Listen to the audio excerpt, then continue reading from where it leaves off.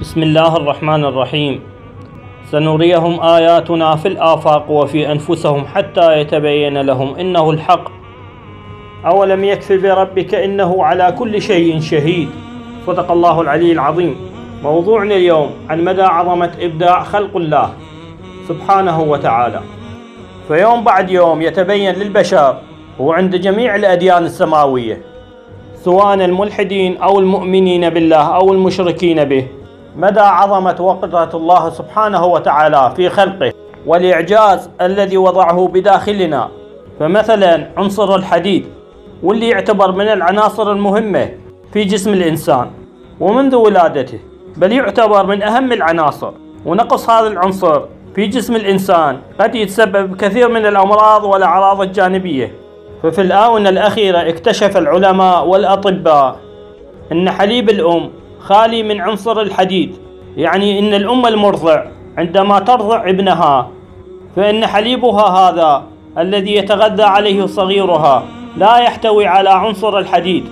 فكيف للرضيع الصغير أن ينمو ويتغذى مدة طويلة من الأشهر بلا مادة الحديد؟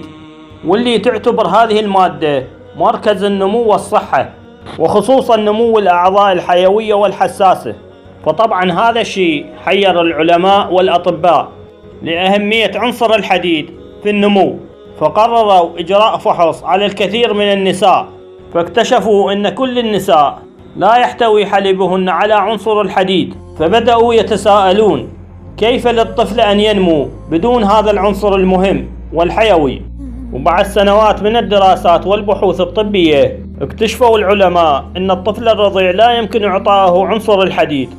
وهذا بسبب أن الحالة الهضمية عند الأطفال الرضاع. ما تسمح بإعطائهم مادة الحديد أو عنصر الحديد. وبنفس الوقت الأم المرضع بحاجة أكثر لعنصر الحديد في جسم المرأة المرضع لتعويض فقر الدم اللي يتولد عندها أثناء الحمل. فسبحان الله الذي أعطى كل شيء بقدر.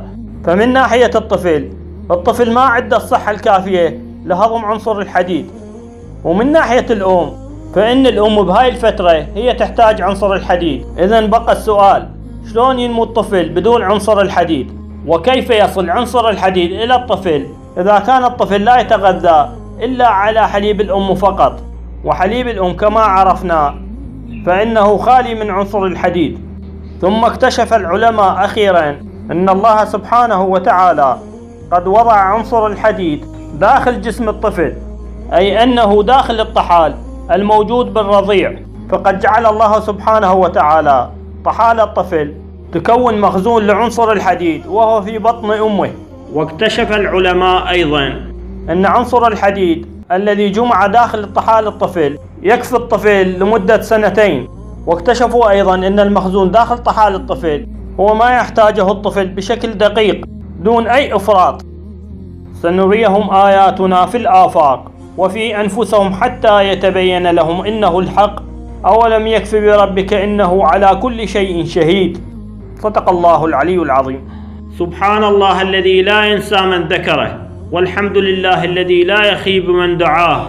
والسلام عليكم ورحمة الله وبركاته.